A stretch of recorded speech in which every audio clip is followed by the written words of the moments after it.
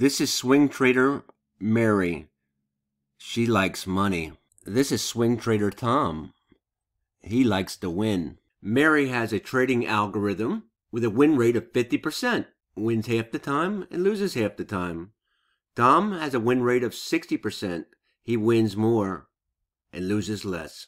But Mary has a risk reward ratio of 2 to 1. When she wins, she wins twice as much as she loses, while Tom has a risk reward of 1 to 1. He loses as much as he wins. Which algorithm do you want to use for your profitable trading system? Which one would you choose, Mary or Tom?